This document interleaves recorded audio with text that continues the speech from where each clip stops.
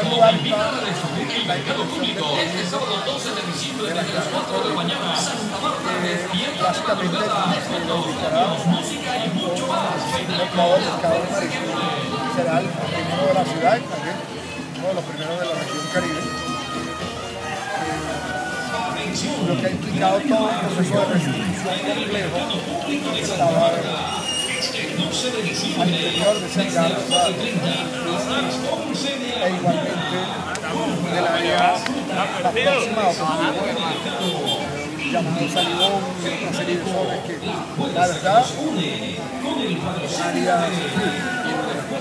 que lesiona la dignidad humana, ¿no? Que la verdad eh, muchas condiciones para depender absolutamente y fue de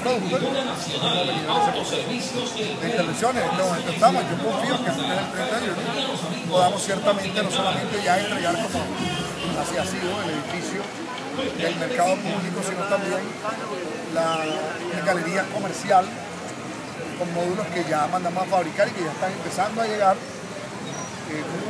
Eh, estamos haciendo intervenciones sobre el predio, ya se han hecho los andenes, se está realizando eh, la posteridad para luego el uh, posterior encerramiento, el alumbrado del área y eh, confiamos que el 31 ya podamos entregar el edificio, eh, perdón, el, la galería comercial. Igualmente, el pueblito como mercado, mercado de marisco, de manera que la persona está el mercado de nos trasladaríamos para allá y nosotros que, con cargo pendiente de ser trasladados, porque ya no va a alcanzar el local, serían reubicados en el edificio. De esta manera estamos dando todo el ordenamiento, como ustedes ven también hemos invertido el dinero en la pintura de alrededor de, del edificio para que efectivamente esta zona se renueve y vendrá un plan también de reparcheo de las vías que todavía están pendientes de ser intervenidas para que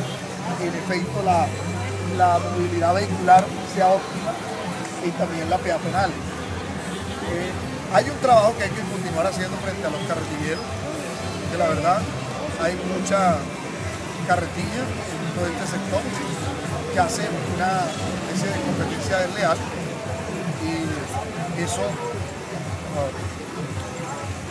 pues por supuesto tenemos que vía las disposiciones que hemos establecido y que se le entregó se le entregó a los eh, a los miembros de la fuerza pública, a la policía, precisamente para que no existan carretillas ¿sí?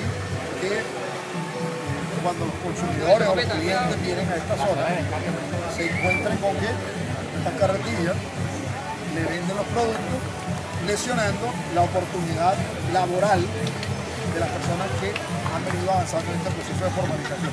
Lo lamentable es que estas carretillas pertenecen a los mayoristas, ¿no? que no están facultados para hacer venta al menudeo. Y precisamente la venta al menudeo es una responsabilidad de los minoristas. Para que le demos oportunidad en esta cadena de abastecimiento, distribución, de comercialización a todos.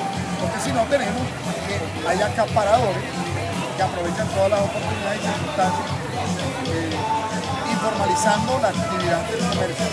Eh, hemos venido luchando para que se formalice, dándole derechos y oportunidades a estas personas que están en el espacio público, tirados en la calle, en condiciones infrahumanas, y que obviamente en esa vía no podían garantizar la venta absolutamente ningún con calidad.